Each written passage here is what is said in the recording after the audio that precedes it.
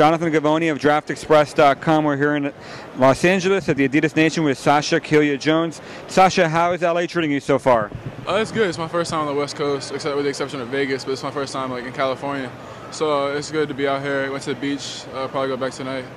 Um, just got to walk around a little bit, but it's, it's nice out here. I like it. Great weather.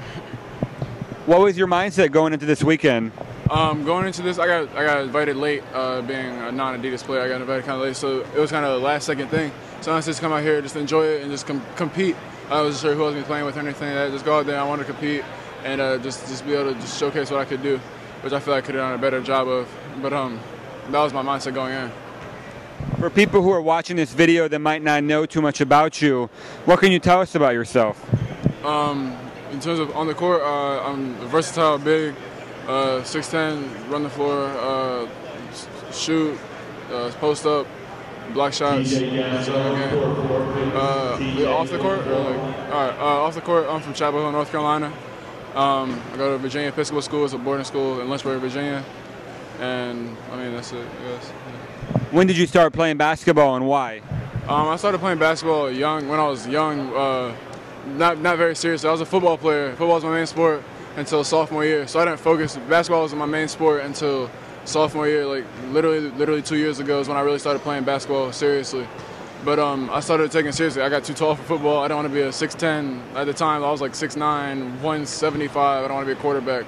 So I just I decided I was gonna start focusing on basketball. I started working out seriously and everything. So that was that was when I first started. Uh, how do you think your football background helps you in, in basketball now? Um, I think it's a little bit of toughness that comes with it, uh, being a quarterback, taking hits and everything. Uh, I've definitely gotten tougher the last over the last two years on the court because it's a different type of toughness. Football, you just got to take the hit and get back up. But basketball, you got to be able to deliver hits, get back, go back and forth, and everything like that. So just the physicality uh, is something that helped me with football. Um, just having that mindset of just taking a hit and getting back up and everything like that. And that's that's helped me start now as I've gotten stronger and everything, start delivering hits and to be able to be more physical in the post and when I'm on the court and everything too. Have you changed it all physically in, in, in the last few years?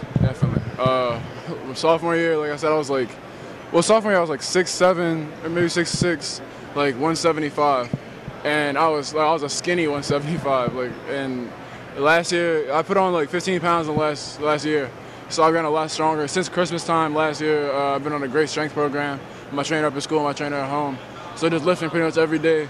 Uh, staying in the gym, eating right, and everything. I've, I've put on a lot of weight, and I've gotten a lot stronger over the past past year, really.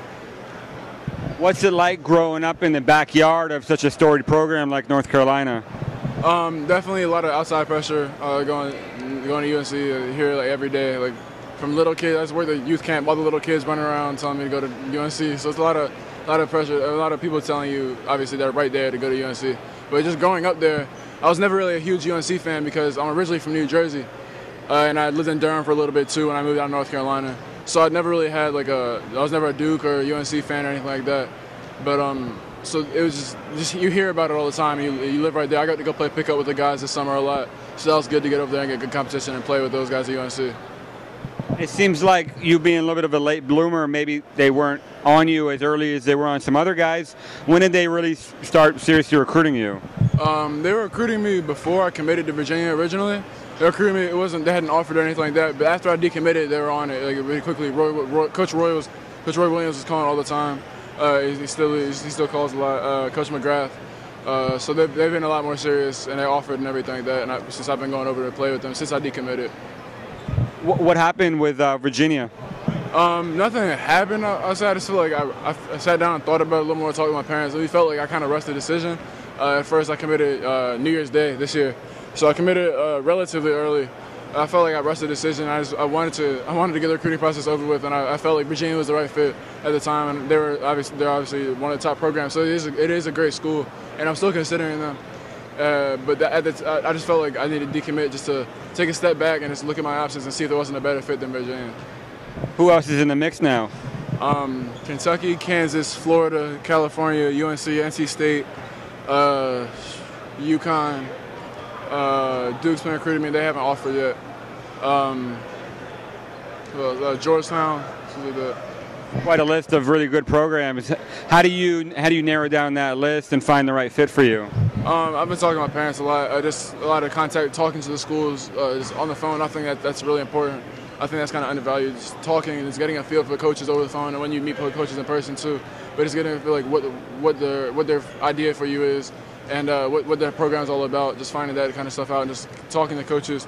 And then with my parents, just uh, we just want to find the right fit. Just sit down and just we're gonna talk. Uh, we're supposed to talk this weekend before I came out here. And sit down and try to go over things and figure out what the next best step is. Any specific bas- any specific goals you have for your basketball career? Uh, I want to be the best. Uh, my trainer is be the best version of myself. So I want to. I think. I think I, everybody has the opportunity to do a lot of great things, and I want to be the best version of me. So I want to. In terms of high school, I want to be an All-American. I want to be top 25 of the country. I want to be. I, I, feel like I can compete with anybody in the country, and I feel like I want, I want to show that on the national level. So that's that's my goal for high school. College, I want to be, like I said, the best version of myself. Go wherever I go, go out there, compete for minutes. Even if I don't get minutes, compete when I'm in the game and just uh, just battle. And in practice, I want to play against, obviously and play against top level guys, like all high major guys. So in practice, get better every day, and uh, then just just to prepare myself. I want to play the next level uh, after college, playing the NBA. Obviously, that's that's everybody here's dream to play in the NBA. And uh, I've made that made that my goal to, to play there. But it's a lot of steps before that. Just working hard and everything like that is my goal to reach my goal. What can you tell me about your last name? What's um, any any interesting background there with your family? Where, where are they from? Uh, my mom's from England, so she kept her last name when my when her my, my dad got married. So she kept her last name, and I got my dad's last name is Jones. He's, his name is still Jones, but me and my little brother are both Killeya-Jones. My mom's Killeya-Jones. Great stuff. Thanks so much. Appreciate it. Good luck.